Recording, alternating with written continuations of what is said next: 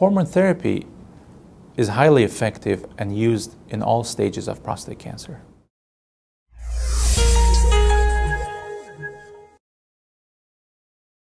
By hormone therapy, we actually mean anti-hormonal therapy or reducing the serum testosterone levels.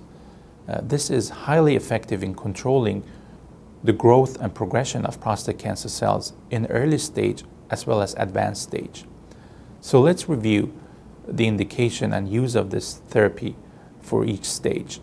In localized prostate cancer, meaning prostate cancer that has not spread to other organs, the treatment options include observation of the patients with very low risk disease, uh, radical prostatectomy, or radiation therapy.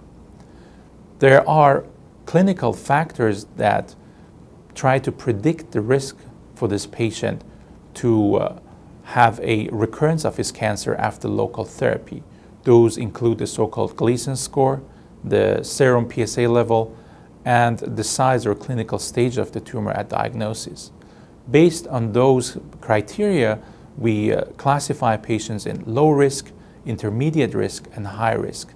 This is important because if the patient cho chooses to undergo radiation therapy for an intermediate risk disease, it is recommended to uh, combine the radiation with six months of hormone deprivation therapy.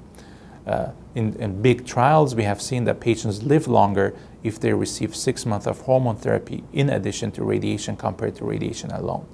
If the patient is high risk, for example, with a PSA greater than 20 or a Gleason score of 8 or greater, and he chooses to undergo radiation, then the combination with hormone therapy should be significantly longer. We know that three years of hormone deprivation is superior to six months of hormone deprivation in high risk patients. But given the side effects of hormone deprivation, the new trials are trying to see whether we can come down to two years.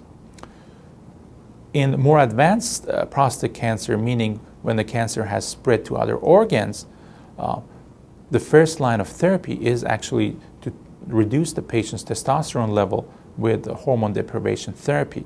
Uh, more than 8 or 9 out of 10 patients will benefit upfront from this treatment. Their pain will get better, the lymph nodes will shrink, their PSA will come down. Uh, unfortunately, this will last only on an average for 18 to 24 months before other treatments have to be added to the modality. Some prostate cancers are high risk, aggressive, and more likely to spread.